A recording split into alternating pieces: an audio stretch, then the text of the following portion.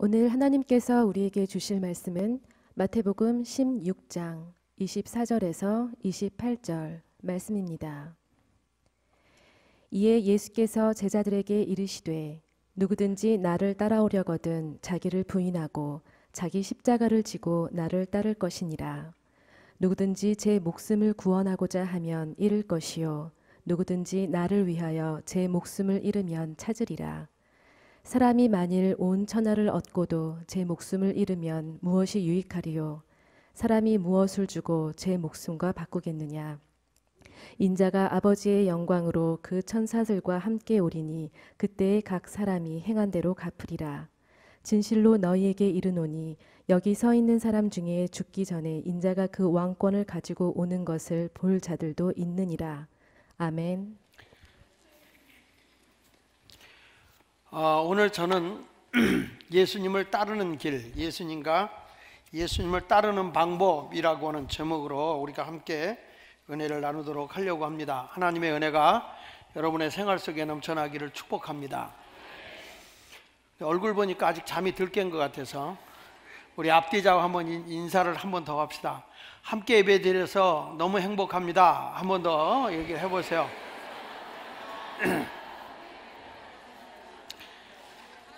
네.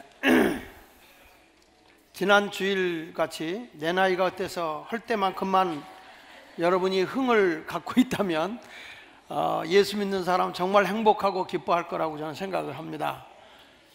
어, 제가 그동안에 마태복음을 쭉 강론을 해오는 가운데서 말씀이 어, 추수감사절을 앞두고 있어서 두 줄을 건너뛰었습니다. 다시 마태복음 16장에 있는 말씀을 가지고 함께 은혜를 나누려고 합니다. 베드로가 어, 주는 그러셨시오 살아계신 하나님의 아들이라는 신앙의 고백을 하고 난 뒤에 그리고 난 뒤에 예수님께서 베드로를 극진히 칭찬합니다. 바요나 시모나 너가 참 복 있는 사람이다. 내가 이렇게 신앙을 고백한 건 네가 잘나고 네가 똑똑해서가 아니라 하나님의 은혜로 하나님께서 너에게 주는 그릇이요 살아계신 하나님의 아들이라고 고백할 수 있었다. 내가 너희 신앙의 고백 후에 내 교회 주님의 교회를 세울 것인데 음부의 권세가 이기지 못할 것이고 내가 너에게 천국 열쇠를 주는데 그 천국 열쇠를 통해서 네가 크게 하나님의 교회를 내 신앙의 고백 후에 세울 것이다. 이렇게 말씀을 했습니다. 그리고 난 뒤에 예수님이 내가 인류의 모든 죄를 대신해서 십자가에서 죽어야 될 것이다. 이렇게 말씀을 하니까 베드로가 갑자기 예수님을 생각해 주면서 예수님 고통스러운 길 가지 마세요. 고난의 길을 가지 마세요. 그러니까 예수님께서 베드로를 꾸짖죠. 이제 인류를 죄에서 구원하기 위해서 십자가의 죽음의 길을 가려고 했더니 베드로가 안 돼요. 그리고 막는 거예요. 그러니까 예수님이 따라합시다. 사탄아, 내 뒤로 물러가라. 너는 하나님의 일은 생각하지 않고 사람의 일만 생각한다. 그렇게 말씀하고 오늘 본문의 내용이 뭐냐면 누구든지 나를 따라오려면 누구든지 예수님을 따르려면 그 얘기예요. 나를 따라오고 싶으면 다른 거 하지 말고 자기를 부인하고 십자가를 지고 나를 따르라. 이 말씀 속에 모든 게 다 들어있는 거예요. 나를 부인하고 십자가를 지고 나를 따라오라. 자, 우리가 보면 예수님께서 내 뒤로 물러가라 이런 말씀을 하시잖아요.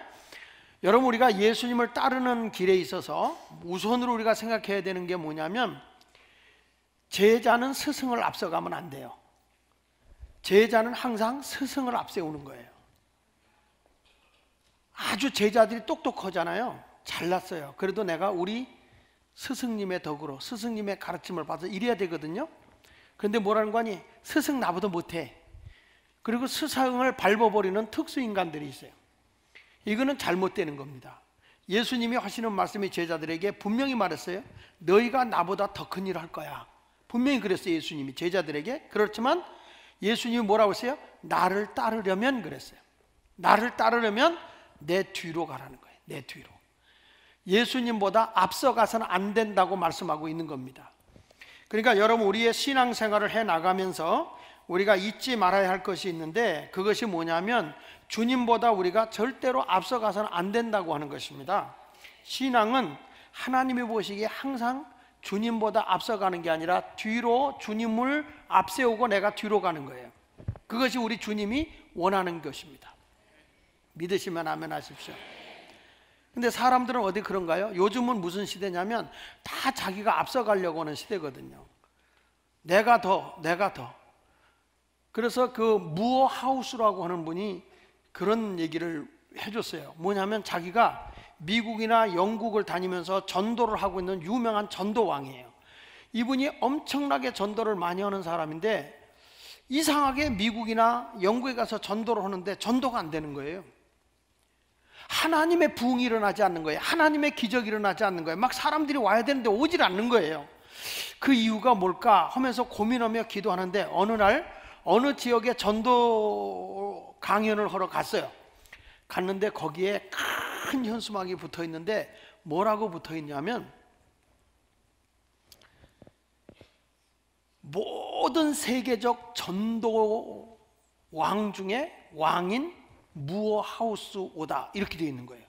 모든 전도자로서 이만한 사람이 없다 그러고 다 세워놨는데 그때 이 무어가 무어 하우스라는 사람이 무릎을 치면서 무슨 얘기하냐면 왜 하나님의 부흥이 일어나지 않는가 봤더니 예수님은 안 계시고 자기만 앞에 나타나는 거예요.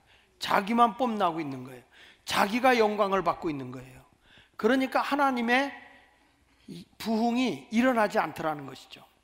그러니까 신앙생활 하면서 우리가 나, 내가 앞서가면 안 되고 뒤를 주님의 뒤를 따라가는 그런 신실한 신앙의 삶을 살아가는 자가 되어야 할 줄로 믿습니다. 그러면 주님을 따라가기 위해서 우리가 구체적으로 조금 생각해 볼 때 어떤 것이 좋겠는가 생각해 보면 내가 생각하고 있는 것을 다 넘어서기 위해서 따라합시다. 자기를 부인하라. 예, 자기를 부인하라. 자, 여러분들이 생각하고 있는 고정관념을 좀 한번 제가 생각해 보려고 합니다. 자기를 부인하라. 이 말이 무슨 얘기냐면 어떤 사람이 달리기를 했습니다. 열심히 달려. 우리 성가대오구 좀 잠깐 얘기할게요. 열심히 달렸는데 그때 달릴 때 2등을 제꼈어요. 그 사람이 몇 등입니까? 2등을 제껴버렸어요. 몇 등입니까? 1등, 2등. 2등을 제끼면 2등입니다. 2등을 제끼면 2등인데 1등을 제끼면 내가 1등이 돼. 근데 2등을 제끼면 2등이야. 이제서 이해하는 분도 계세요. 그러니까 사람의 생각이라는 게 그렇게 황당한 거예요. 제가 한 가지 더 물어보겠습니다. 소경이 치과에 갔습니다. 아, 저, 저, 칫솔을 사러 갔습니다. 소경이 칫솔이 어딘지 모르잖아요. 주인한테 가서, 아, 소경이 아니라 벙어리가. 벙어리가 말을 못하니까 칫솔 주세요란 말 못할 거 아닙니까? 어떻게 얘기했을까요? 어떻게 달라고 그랬을까요? 음, 음, 음, 음. 찾아줬습니다. 이번에는 소경이 지팡이를 사러 갔습니다. 집어야 되니까. 뭐라고, 어떻게 했을까요? 어떻게 지팡이를 샀을까요? 지팡이 짚고요. 그 사람은요, 그냥 지팡이 주세요. 그러면 돼요. 말을 할 줄 아니까. 그쵸? 근데 여러분들은 이렇게 해야 된다고. 이렇게. 얼마나 웃기는 얘기냐고요. 그러니까 사람이 생각이요. 한 가지 하고 나면 금방, 금방 내가, 아, 소경도 이렇게 해야 된다. 그러니까 우리가 신앙생활 하는 가운데서도 보면 내가 생각하고 있는 것을 절대화시켜 버리면 이렇게 실수하는 경우가 많습니다. 그래서 오늘 본문에 있는 말씀에서 마태복음 16장 24절에 이렇게 말씀하는 겁니다. 같이 읽어보면 이에 예수께서 제자에게 이르 누구든지 나를 따라오려거든 뭐라고 그랬죠? 자기를 부인하고 그랬어요. 근데 사람들이요 가면 자기 얘기를 많이 하죠. 나 얘기를 많이 합니다. 누가 고생했다. 야야 그건 고생도 아니야. 내가 너보다 고생을 더 했어. 전부 다 내가 내가 그럽니다. 여러분 어느 날 배구공이 막 열받아서 얘기했다는 거예요. 난 사람들이 날마다 손바닥으로 때린다고. 나는 늘 맞고 산다고 그랬어요. 그러니까 옆에 있던 축구공이 야 나는 발로 걷어채우고 살아. 너는 그 손바닥으로 맞는 건 아픈 것도 아니잖아. 나는 발로 걷어차. 그러니까 옆에 있던 탁구공이 나는 주걱 같은 걸로 때리는데 너는 그래도 그냥 뭐 이렇게 숨 쉴 틈이나 있고 맞잖아? 나는 숨 쉴 틈 없이 맞아.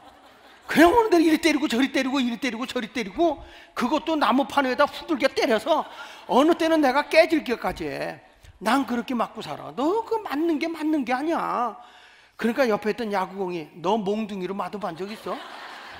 야구바 따로 맞아보면 말이야 나는 실밥이 터지고 이게 터져나가 전부 다 자기가 고생한 얘기 자기 중심으로 얘기해. 여기도 그런 사람 많아요. 신앙생활 하다가 내가 얼마나 열심히 내가 얼마나 힘든데 내가 얼마나 애를 쓰는데 성가대 앉으면서 난 아침 일찍 밥도 못 먹고 오고 애들 깨워갖고 오고 얼마나 힘든데 전부 다 지 힘든 얘기만 하는 거예요. 그러니까 야구공이 나 봐 나 몽둥이로 맞아. 그리고 옆에 있던 작은 공 골프공이 너 쇠로 맞아본 적 있냐? 이러는 거예요. 그러니까 항상 사람들이 얘기할 때는 자기가 고통스러운 거를 자꾸 자기 중심으로 얘기를 하는 거예요. 그러나 여러분 성경에 예수님은 뭐라는 거 아니? 내가 없어져야 된다는 거예요.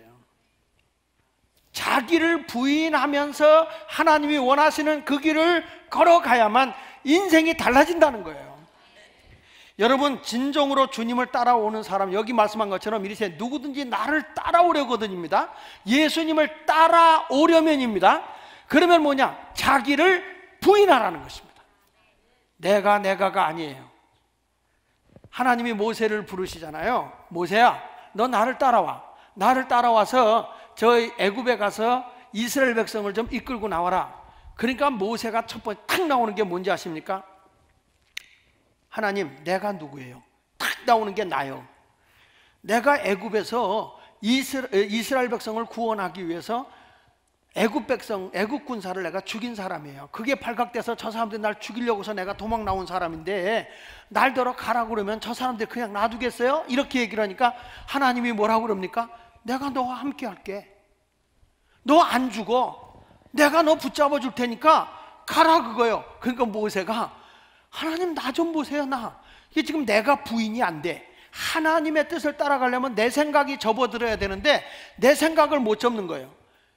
그러니까 하나님이 내가 함께 한다니까 그랬더니 모세가 하는 얘기가 하나님이 보내서 내가 가잖아요.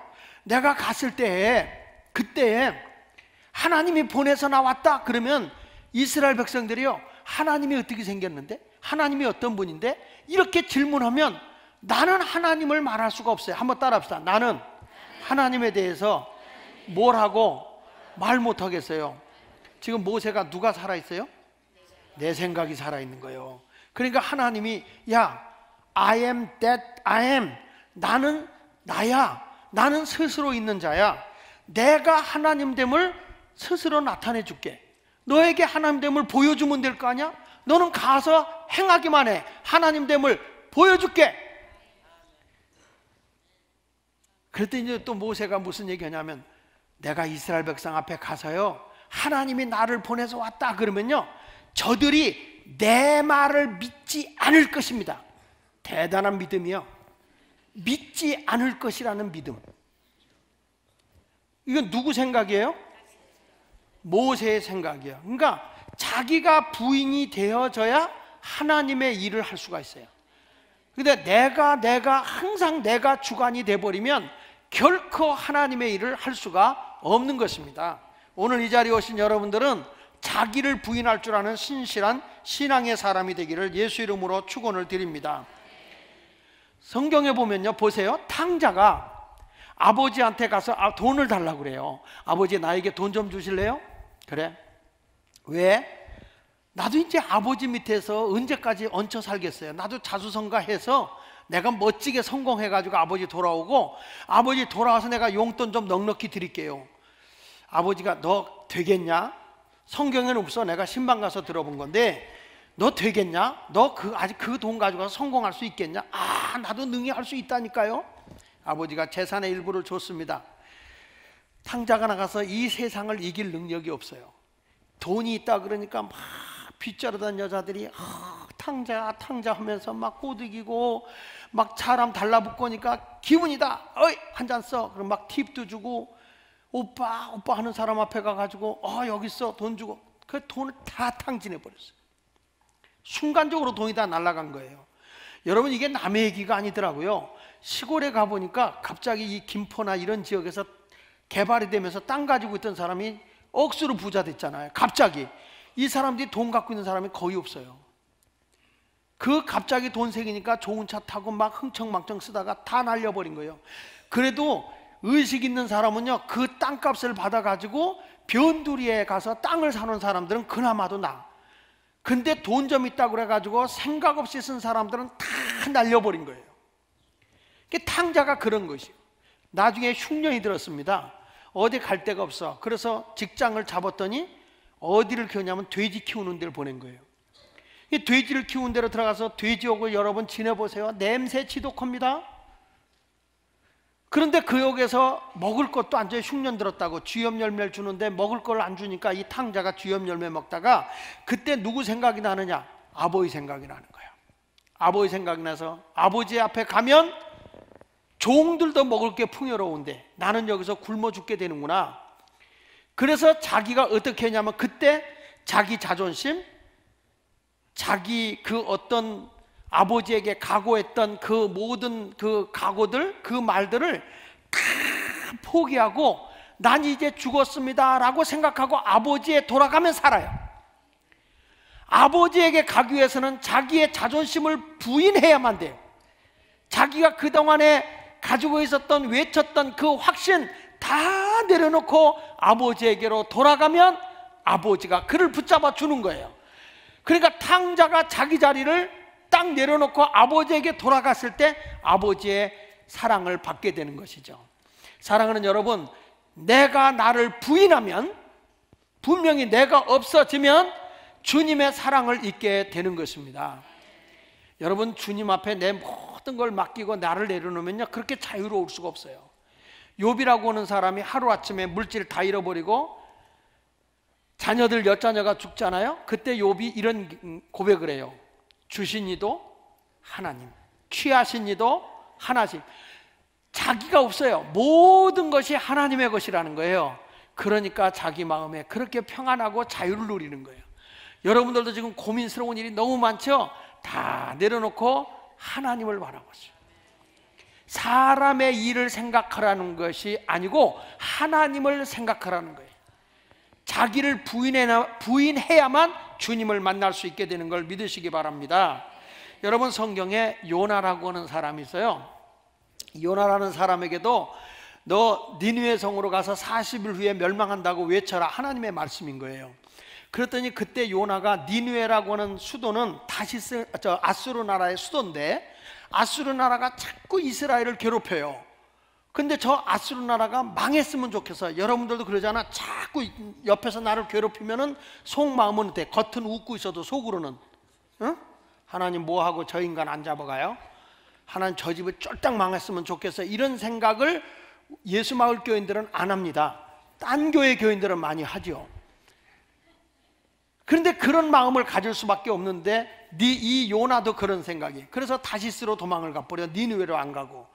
근데 하나님이 그를 불러요. 풍랑을 통해서 돌아오게 되지 않습니까? 그러니까 요나가 하나님의 뜻을 따르기 위해서는 자기 생각을 포기해야 되는 거예요. 자기 미움과 자기 증오를 포기해야만 하나님께로 가는 거예요. 그래서 오늘 주님을 따르려고 하면 첫 번째로 뭐냐? 자기를 부인하라는 거예요. 나만 장군도 자기 문둥병이 걸렸습니다. 옆에 있는 소녀가 우리나라 가면요 하나님의 종 하나님의 선지자 엘리사가 있거든요. 그 엘리사 목사님에게 가면요 하나님의 능력으로 문둥병 싹 나요. 걱정하지 마세요. 아멘 하는 사람만 나요. 그러니까 이때 나만이 막 선물을 싣고 마차를 끌고 말이죠. 톡톡톡톡 하면서 간 거예요 갔는데 이 나만 장군이 오는데 엄청난 호위병을 거느리고 갔는데도 경호원을 데리고 갔는데 엘리사는 내다보지도 않아요. 내다보지도 않고 밑에 있는 신방전사님 시켜가지고 사환을 시켜서 저 요단강에 가서 일곱 번 목욕하라고 해라. 딱 가더니 신방전사님이 하는 얘기가 목사님이 그러시는데요. 그냥 저 요단강에 가서 그러니까 무슨 얘기냐면 청계천에 가서 목욕하라는. 그러니까 화가 벌컥 내면서 아니 우리나라에 아랍 나라에는 지금 다메섹 강도 있고 거기서 얼마나 좋은 게 있는데 감히 나에게 내다보지도 않아? 어? 나는 적어도 적어도 저가 당초에 올라서 지붕 위에 올라가서 푸닥거리 하면서 내 병을 쫓아내고 악기를 물리쳐서 내 병을 고쳐줄 줄 알았던데 어떻게 푸닥거리도 안 하고 내다보지도 않아 내 이거 가만 안 놔둔다 돌아가서 내가 군사를 끌고 와서 저들을 싹 쓸어버리라 이런 흥분이 돼가지고 가는 거예요 만약에 그때 나만 장군이요 자기를 포기하지 않았다면 그의 문득병은 못 고쳤을 거예요 그래서 사람은 사람을 잘 만나야 돼. 옆 사람을 잘 만나야 돼요. 막 삐지잖아. 그러면 그 사람 붙잡고 뭐냐면 아니야 아니야 그게 아니야 이래야 되거든요. 그때 옆에 있던 말을 몰고 가던 신하가 장군한테 장군님 각하 하면서 뭐라고 한 거냐. 아니 해보고 안 되면 그때 시비 겁- 겁시다. 아니 이거 해보지도 않고 그냥 가버리면 왜 말을 안 들었냐? 그럼 우리가 할 얘기가 없잖아요. 한번 해봅시다. 그 남한 장군을 붙든 거예요. 와, 해보자고. 여기까지 왔는데 어차피 더운데 목욕 하지 말래도 헐 판인데 합시다. 그 들어갑시다. 그래가지고 이 남한 장군이 들어갑니다. 어, 생각해 보니까 그 말이 맞잖아요. 그 들어가서 목욕을 한 번 하고 두 번 하고 첨벙 첨벙 세번 하고 네 번 하고 다섯 번 하고 여섯 번 했는데 따갑기만 하지. 전혀 문득병이 낫지도 않아. 여섯 번 했을 때 옆에서 야 네가 하는 대로 했는데 막 그냥이야 이 자식이. 그러니까 옆에 있던 사관이 그럽니다. 한 번 더 해요. 일곱 번 하라고 그랬잖아요. 일곱 번탁 들어갔다가 탁 나오니까 그의 피부가 어린아이 같이 깨. 그지? 하나님의 역사는 마지막 순간에 역사하는 거지 중간에 하는 거 아니에요. 내가 중간 이 정도 했으면 되겠지. 그게 아니라니까 하나님은 끝까지 믿음을 보고 내가 과연 내 중심으로 사느냐 그걸 보기를 원하는 거예요. 여러분 내 자존감, 내 자존심 다 내려놓으세요. 하나님이 기뻐하는 거예요. 믿습니까? 인기인들, 연예 가수들이요. 사람 많은 데 가서 전부 다 배꼽 내놓고 그 입은 거예요, 그게. 근데 그거 입고도 막 노래 부르잖아요. 우리 교회 교인 가운데 그 따님이 그 저기더라고요. 그 트로트 가수 지원이 뭐 쿵, 쿵짜작? 쿵짜작? 쿵짜작 쿵짜? 어. 쿵따다 쿵짜인지 근데 그거 이렇게 보니까 막 가수인데 보니까 보통 요염한 행동을 하는 게 아니에요. 근데 만약에 그런 모습으로 강단에서 서라. 이게 안 그래요. 여러분 자기를 다 내놓고서 노래해야 이게 되는 겁니다. 제가 부흥회를 이렇게 가서 하잖아요. 저거 우리 교회니까 제가 그래도 이렇게 점잖하게 하지만 부흥회 가면 잘 웃어요. 잘 웃고. 그럼 목사님들이 날들어 그래요. 목사님 어떻게 그 처음부터 그렇게 웃겼어요? 그래 그래서 내가 그랬어요. 웃기는 게 그냥 웃기는 게 아니야 내가 망가져야 웃어. 내가 망가지지 않으면 절대 안 웃어. 어느 목사님은 지가 웃기고 지가 웃다가 다른 사람은 다 구경하고 있고. 그러니까 하나님의 일을 하고 어떤 일을 할 때는 자기가 부인되지 않으면 하나님을 경험할 수가 없게 되는 겁니다. 여러분 오늘도 우리가 자기를 부인하는 성도가 되시기를 주의 이름으로 축원합니다. 그래서 자기를 부인하고 그 다음에 두 번째가 뭐냐면 따라합시다. 자기 십자가를 지고 주님을 따라야 한다. 꼭 기억하십시오. 오늘의 핵심입니다. 십자가를 지라는 겁니다. 십자가는 십자가 그러면 두 가지 단어를 꼭 기억해야 됩니다. 십자가 그러면요. 따라합시다. 죽음. 크게 죽음. 두 번째로는 부활. 다시 부활. 십자가에는 반드시 죽음과 부활이 따라야 합니다. 십자가는 뭐냐면 나의 허물과 죄를 위해서 예수님이 십자가에서 죽으신 거예요. 죽음으로 끝났다면 아무 소용이 없어요. 왜냐하면 그 당시에 사형장에서 가장 끔찍한 형별로 죽은 것이 십자가이기 때문에 십자가의 사형을 받아 죽은 사람이 예수님 한 분밖에 있는 게 아니에요. 수많은 사람이 십자가 형틀에 매달려 죽었어요. 예수님 돌아가실 때에도 우편 좌편의 강도들이 십자가에 달려 죽었어요. 그러니까 십자가에 죽은 사람은 수도 없이 많은 거예요. 그러나 십자가의 죽음 뒤에 뭐가 있었어요? 부활이 있었어요. 다시 살아났다는 거죠. 그러니까 여러분 십자가를 딱 바라보는 순간에 우리 뭘 생각해야 되냐면 예수님이 나의 허물과 죄를 위해서 죽으셨고 장사 지낸 지 사흘 후에 부활하셨음을 믿는 거예요. 할렐루야. 그러니까 마태복음 16장 24절 뒷부분에 보면은 이에 예수께서 제자들에게 때 누구든 나를 따라오든 자기를 부인하고 그 다음에 뭐예요? 자기 십자가입니다. 자기 잘 보세요. 예수님의 십자가만 바라보라는 게 아니에요. 예수님이 나를 위해서 십자가에 못 박혀 돌아가셨습니다. 그것만 생각하라는 게 아니라 여기 보니까 내가 십자가를 지라는 거예요. 자기에게 주어진 십자가를 지고 나를 따르라는 거예요.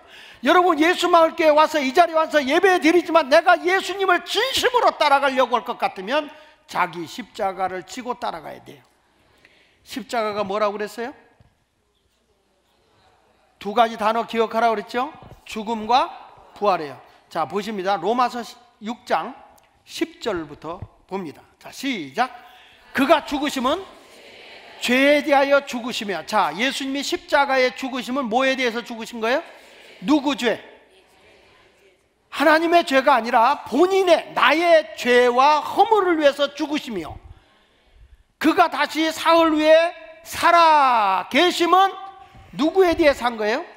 하나님께 대하여 사는 거예요. 자, 예수님은요, 나의 허물과 죄를 위해서 죽으셨어요. 그리고 사흘 후에 부활하셨어요. 그 살으심은 하나님께 영광이 되는 삶이에요. 하나님께 대하여 살아계신 거예요. 자, 그런데 이 십자가는 누가 져야 돼요? 2000년 전엔 예수님이 졌지만 지금은 누가 져야 돼요? 내가 져야 돼. 십자가가 뭐라고 그랬어요? 죽음과 부활이에요. 죽음은 나의 허물과 죄에 대한 죽음이에요. 부활은 뭐예요? 하나님께 대한 살으심이요. 11절을 보세요. 11절. 자, 시작. 이와 같이 너희도 너희 자신을 뭐에 대해선 죽어라? 여러분, 내가 자꾸 죄가 살아나려고 그러면 안 됩니다. 예수 믿는 사람이 교회 다니면서 자꾸 죄 짓고 예수 믿으면서 자꾸 못된 짓 하고 돌아다니면 안 됩니다. 예수 믿으면 나는 죄에 대해서 뭐 한 자? 다시 뭐에 대해서 죽은 자? 죄에 대해서 죽은 자. 그 다음에 뭐라고 그랬어요? 그리스도 예수 안에서 하나님께 대하여는 살아있는 자예요. 자, 10절 다시 한번 볼게요. 예수님은 어떤 분이셨다고 그랬어요? 죽으심은 죄에 대하여 단번에 죽으시고 그가 살아계심은 하나님께 대해 살은 거예요. 그러니까 예수님의 십자가는 죽음과 부활 생명이에요. 그러면 우리가 져야 할 십자가는 뭐예요? 다시 11절 보세요. 너희 자신이 죄에 대하여는 그러니까 예수 믿으면서 죄 져야 돼요? 죄에 대해서 죽어 있는 내가 여러분 만약에 누가 돌아가셔서 영안실에 모셨어요. 영안실에 모셨다고 그래서 조의를 하러 갔더니 조문을 하러 갔더니 문상객을 맞이하고 있어요. 오셨습니까? 누구세요? 죽은 아무개입니다. 다 기절할 거예요. 죽은 자는 움직일 수 없어요. 나는 이제 죄에 대해서 죽었으면 죄를 이기는 자가 돼야 돼. 죄를 범해야 돼. 죄를 이겨야 돼요. 그리고 뭐에 누구에 대해서만 살아야 돼. 하나님께 대. 그런데 이게 거꾸로 된 사람 많아요. 죄에 대해는 죽고 하나님께 대해 살아야 되는데 죄에 대하여 살고 하나님께 대해 죽은 자. 이게 누구냐? 가인이야, 가인. 하나님께 예배를 드렸어요. 하나님께 예배를 드렸는데 자기의 예배는 받지 않고 동생의 제사인 아벨의 제사는 받은 거예요. 그러니까 화가 난 거예요. 그래서 내 속에 하나님께 예배 드렸다고 하는 그것이 안 받아졌다고 해서 죄가 살아나는 거예요. 저놈만 죽여버리면 하나님이 내가 드린 대로 내 예배를 받아 먹을 텐데 내가 어떻게 하면 하나님이 기뻐하는 예배를 드릴까 그게 아니라 하나님이 내가 하는 대로 받아 먹으라는 거예요. 그래서 결국에 가서는 아벨을 죽이려고 분노가 치밀어 올 때 하나님이 몇 번 경고를 해요. 내가 분내어 하면 어쩌미냐? 죄를 죽이라는 거예요. 내 죄가 문 앞에 이르렀다는 거예요. 그러니까 죄를 빨리 이기라는 거예요. 근데 결국에는 그 죄에 대해서 죽지 않으니까 어떻게 돼요? 아벨을 돌로 때려 죽이는 살인자가 되는 거예요. 여러분, 내가요, 죄에 대하여 죽은 자가 되어야 되는 겁니다. 그게 십자가를 지는 겁니다. 십자가는 죄에 대해 죽고 하나님에 대해서 살아야 되는 겁니다. 하나님이 기뻐하는 길을 걸어가야 되는 것입니다. 예배당에 와 앉아 있다고 해서 하나님을 위해서 살아가는 게 아니잖아요. 내가 경찰이다? 경찰이라 그러면 경찰 제복만 입고 딱 앉아 있다고 해서 경찰이 아닌 거예요. 경찰의 본분을 다 하고 경찰로서 의무를 다 하고 범죄자도 잡고 사람들이 무질서하면 질서도 잡아주고 경찰이 뜨면 괜히 무서운 사람 죄가 있는 거죠. 경찰이 오면 아 수고하십니다. 이런 사람은 괜찮아. 거기야 뭐 요즘엔 너무 뻔뻔해서 죄 짓고도 수고하네. 나도 못 잡는 주제에. 이렇게 하는 사람도 있지만 실질적으로 경찰도 경찰로서의 본분을 다해야 경찰이듯이 예수 믿는 사람도 여기에 앉아 있다고 예수 믿는 게 아니라 죄에 대해서는 죽은 자 영아멘이 시원찮네요? 죄에 대해서는 죽은 자 그리고 하나님께 대하여는 산자가 되어야 돼 우리 모두 그런 성도가 될 수 있기를 예수 이름으로 축원을 드립니다 사람들이 왜 예수님을 내 안에 못 모셔드리냐면은 너무 내가 커요 큰 내가 내 안에 계시기 때문에 예수님이 들어올 틈이 없어요 그러니까 나를 비우고 예수님을 모시고 살아야 되는데 다시 말합니다. 십자가가 뭐라고 그랬습니까? 죽음과 부활입니다. 죄에 대해서는 죽는 겁니다. 오늘 여러분 메시지입니다. 오늘 하나님의 선포입니다. 너는 죄에 대해서 죽어라. 아직도 예수 믿으면서 구습을 끊어버리지 못하고 고통 속에 허덕이는 분들 많아요. 여러분 성경에 자기를 부인하라 그랬잖아요. 저 좀 보세요. 저 좀 보세요. 자기를 부인하라 그랬는데 애들도 자기 부인하는 사람 많아요. 어디에다가 자기를 잃어버렸어요. 컴퓨터에다가. 자기를 다 잃어버렸어요. 세상에 중독이 돼 가지고. 자기 정체를 잃어버려서 어떤 사람은 알코올 중, 알코올 중독이 돼서 알코올이 나를 완전히 먹어버려서 내가 없어요. 내가 정신병이 돼 버렸어요. 그래서 성경은 나만 없어서는 안 돼요. 반드시 하나님의 일을 생각해야 되고 하나님만을 바라봐야 되는 거예요.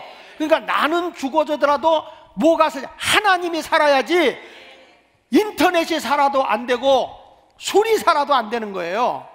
온전히 주님 앞에 옛 구습을 싹 끊어버리고 하나님만 바라보고 가는 자가 되어야 할 줄로 믿으시면 아멘 하십시오. 자, 그 대표적인 사람 한번 볼까요? 내가 죽고 하나님에 대해서 한 사람, 저는 다니엘과 그의 세 친구라고 봐요. 세상적으로 높은 자리에 올라갔어요. 지금으로 말하면 도지사, 서울특별시장, 이런 위치에 올라간 거예요. 근데 그 사람들을 끌어내리기 위해서 늘 하나님 앞에 하루 세 번씩 기도를 하니까 기도 시간에 우상을 만들어 놓고 요 시간에 기, 이 절하지 않는 왕의 우상 앞에 절하지 않는 사람은 풀무불 속에 집어넣읍시다. 아니면 사자굴 속에 집어넣읍시다. 이런 계획을 세우는 거예요. 이때 사드랑 메삭 아벤느고가 만약에 이 기도하는 시간 하나님을 생각하고 하나님을 바라보는 순간에 우상 앞에 절하고 있으면은 자기는 살아요. 자기는 편안해요. 왕의 사랑을 받고 있어요. 그렇지만 하나님은 기뻐하지 않는 거예요. 자, 여러분, 육의 것을 쫓아야 될까요? 영의 것 하나님을 쫓아야 될까요? 내가 출세하고 내가 올라서고 내가 명예롭고 내가 부를 얻는 그 길을 쫓아가야 될까요? 아니면 하나님이 기뻐하는 그 길을 가야 될까요? 답은 다 아는데 답은 아는데 막상 현실에 그렇게 되면 하나님보다는 내가 먼저 살아나기 시작하는 거예요. 내 일이 앞서가는 거예요. 그러나 사드락과 메삭 아벤누고는 뭐란 관이 내가 죽어지는 거예요. 내가 풀무불 속에 들어가 죽는다 할지라도 나는 하나님이 원하시는 우상 숭배하지 않겠다. 하나님을 생각하는 거예요. 그리고 들어갔어요. 풀무불 속에 들어갔어요. 하나님은 그를 머리카락 하나 끌리지 않도록 옷에 불남, 불냄새 나지 않도록 지켜주셨다 그랬습니다. 인생을 살아가는 동안에 환란이 나를 삼켜버릴 일이 너무 많습니다.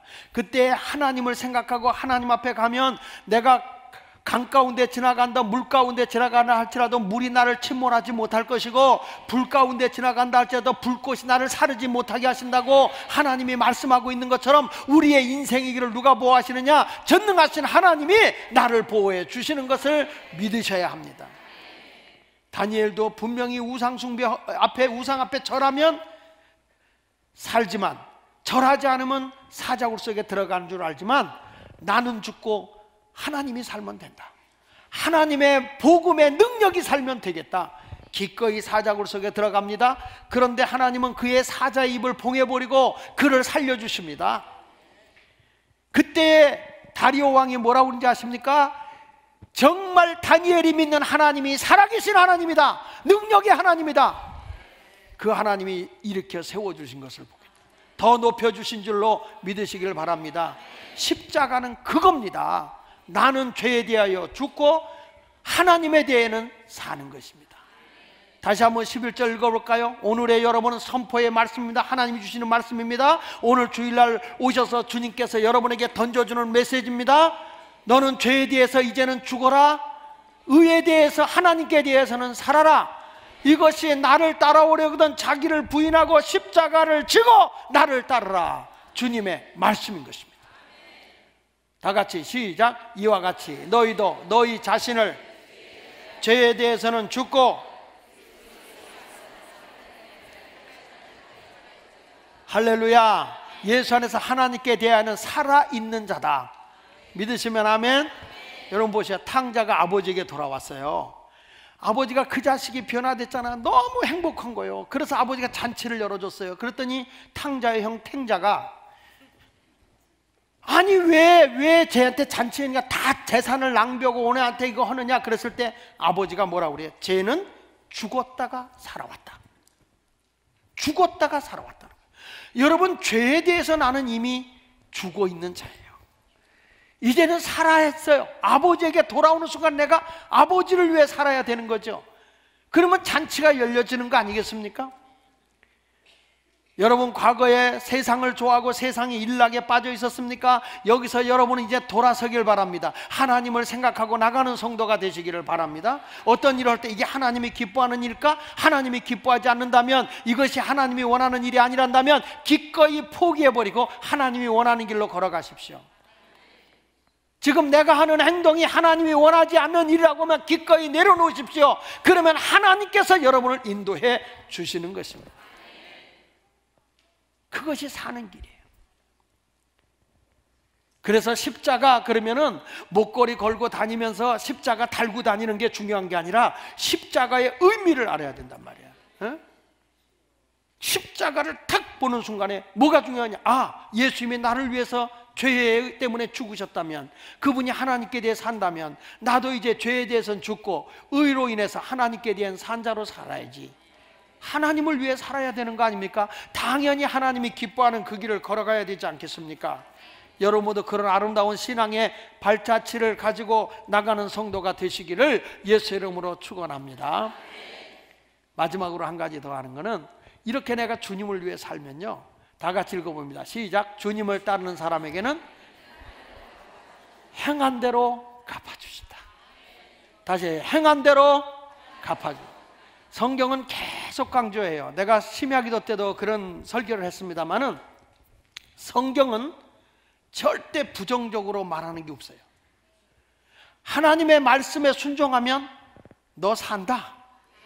너 할 수 있다. 두려워하지 마라. 강하고 담대하라. 성경은요, 하나님의 말씀대로 사는 사람은 일곱 번 넘어져도 다시 일어난다. 성경은 부정적으로 말한 적이 없어요. 너가 불순종하고 말씀대로 살지 않으면 불행해지지만 하나님을 의지하고 말씀대로 순종하며 살아가면 너는 잘 된다. 너는 복 받는다. 너는 큰 사람이 된다. 구워줄지라도 꾸지 않는다. 머리가 될전혀 꼬리가 되지 않는다. 하나님께서는 자꾸 성경의 밝은 면을 보면요. 할 수 있다는 거예요. 된다는 거예요. 예수 제대로 믿으면 오그라질 수가 없어요. 할머니들은 그래 이 오그라질로 막. 근데 진짜 믿음은 오그라지는 법이 없어요. 하나님이 세워주시고 높여주시고 이끌어주시는 거예요. 할렐루야. 저는 신방을 이렇게 가서 보면서 내가 설교하다고도 그랬어요. 가슴을 내가 쳤는데 오래 예수 믿은 분들이 계시잖아요. 제가 오래 예수고 신방을 갔는데 몇십 년을 이렇게 만나고 했는데 그 전에 시장에서 장사할 때도 하나님 앞에 이렇게 감사를 드려요.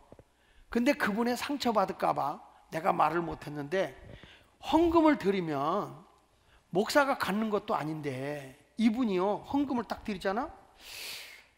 이분의 형편에 비하면 너무 서운한 거야. 내가 갖는 것도 아닌데 하나님께 저렇게 드리는데 아, 왜 이렇게 하나님께 인색하지? 서운한 마음이 드는 거예요. 이번에 신방을 가면서 보니까 그분이 하나님께 감사를 드리는데 여전히 거기서 못 벗어나. 20년이 지난 지금에 와서 그 가정을 이렇게 물어보는데 옛날보다 더 기울고 자녀들 때문에 눈물을 쏟고 그렇게 힘들게 살고 있는 거예요. 그냥 얼굴에 근심과 걱정과 슬픔이 꽉 차져 있는 거예요. 그 모습을 받고 돌아오면서 내 가슴이 아픈 거야. 그래서 내가 제 아내한테 그랬어요. 내가 죽일 놈이야. 내가 성도를 바르게 가르치질 못했네. 하나님 앞에 그래도 힘들고 어려운 중에도 하나님을 위해 살겠다고 하나님의 뜻대로 살겠다는 사람들은 다 하나님이 세워줬어요. 어떤 교회는 나한테 와서 그러는 거예요. 목사님, 우리 집에 목사님 신방 안 온 지가 몇 년 됐는지 아세요? 나도 모르는데 자꾸 그걸 물어보니까 그래서 글쎄요 한 10년 넘었죠 목사님 20년 됐어요 20년 신방 온데 20년 무슨 소리예요 내가 권사님네 갔다 온 지가 언젠데 그랬더니 목사님 내가 우리 집 연립주택 사고 온 적 있어요? 아니 그거 산 지가 벌써 20년이에요 그런데 그분은 그 어려운 중에도 그냥 하나님 앞에 충성하고 힘들고 어려워도 그 남편이 알코올 중독이었었거든요. 굉장히 힘들었어. 그냥 지하방에서 벌벌벌벌벌 기면서 그렇게 살았어. 그런데 하나님 앞에 그 힘든 가운데도 살았으니까 지금 여기 와 계셔. 응, 그분이. 그런데 하나님이 그런 분은 이렇게 세워 이렇게 이렇게 이렇게 자녀들도 풀어주고 하나님이 세워줘. 내가 그걸 보고 깨달은 게 아, 하나님은 행한 대로 갚으시는구나. 내가 나를 부인하고 십자가를 지고 하나님을 바라보고 나갔더니 기우는 게 아니라 하나님이 세우시는데 행한 대로 갚으시더라. 할렐루야. 누구한테 뽐낼 것도 없고 자랑할 것도 없어요. 내가 버거울 정도로 하나님을 위해 최선을 다하잖아요. 하나님이 채우시는 거예요. 저도 목회를 하고 있잖아요. 목회를 하고 있는데 저는 나도 하나님 앞에서 어떤 목사가 돼야 할까 늘 생각을 해요. 내가 비굴한 목사가 될 거냐? 시시한 목사가 될 거냐? 아니라는 거예요. 하나님 앞에 바로 서 있으면 우리 하나님께서 다 인도하시는데 행한 대로 갚아주시거든요.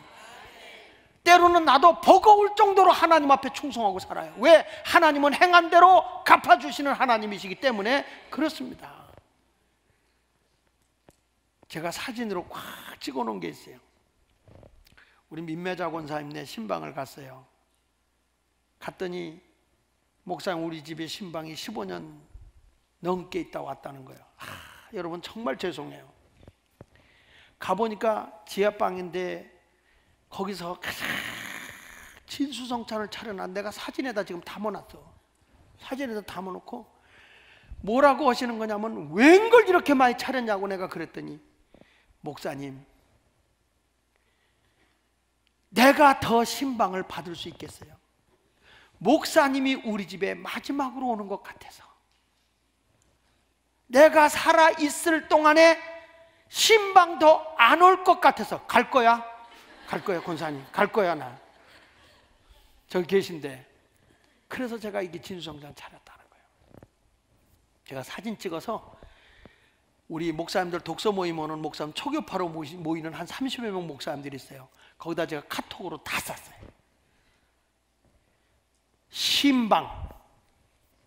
안 올까봐 마지막이라고 상처를 준 마지막 상. 최후의 만찬 성도들이 이렇게 사모하고 이렇게 하는데 이게 목회구나 하는 생각이 든다. 가슴이 저리고 아파온다. 내가 그러면서 그 글을 썼더니 목사님들이 다 은혜 받아가지고 거기다 어떤 목사는 또 이렇게 쓴 목사예요. 다 먹으면 다음 신방은 어렵겠다.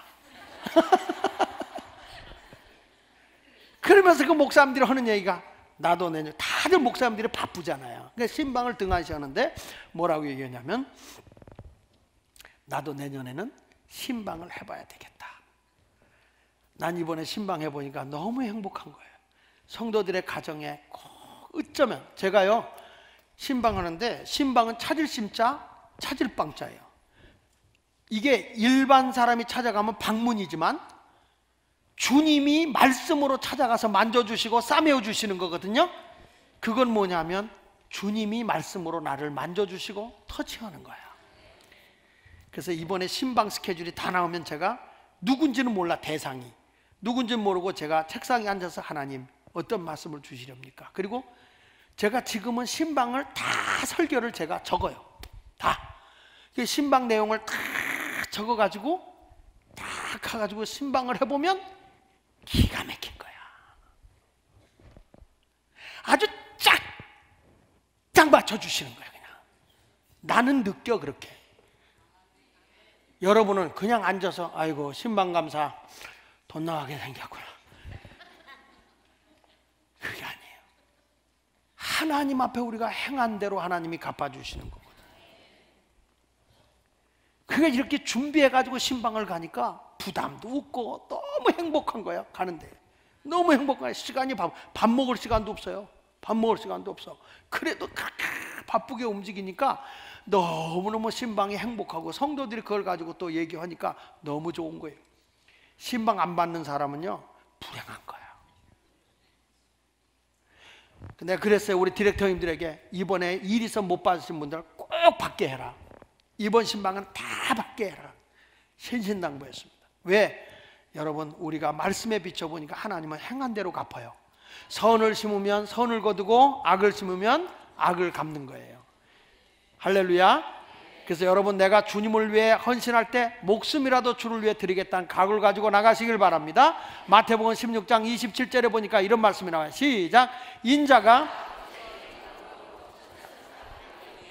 그때에 각 사람이 행한 대로 갚아주는데 그 행함은 어떻게 하는가? 25절 보세요. 25절. 시작. 누구든지 제 목숨을 구원하자 하면 잃을 것이요. 누구니 자기를 위하여 제 목숨을 잃으면 찾으라. 내가 하나님을 위해 충성한다고 할 때 죽기까지 죽기까지 할렐루야 성도들의 아픔을 놓고 제가 눈물겹게 그를 위해서 진심으로 축복해질 때 저는 기대하거든요 하나님이 응답해 주시고 채워줄 것을 저는 분명히 믿습니다 여러분 순교적 신앙을 가지고 십자가를 지고 주님을 따라가는 신실한 신앙의 사람들이 되시기를 예수 이름으로 축원을 드립니다. 자기를 부인하십시오. 그리고 십자가를 지십시오. 내가 없이 하나님의 영광만을 드러내십시오. 나는 죄에 대하여 죽고 하나님께 대하여 살아가는 그런 신실한 성도들이 된다면 여러분들이 주를 위해 행한 대로 하나님이 더 많은 것으로 더 좋은 것으로 더 행복한 것으로 채워 주실 것을 믿습니다. 하나님의 은혜가 여러분의 삶 속에 넘쳐나기를 축원합니다. 기도하겠습니다.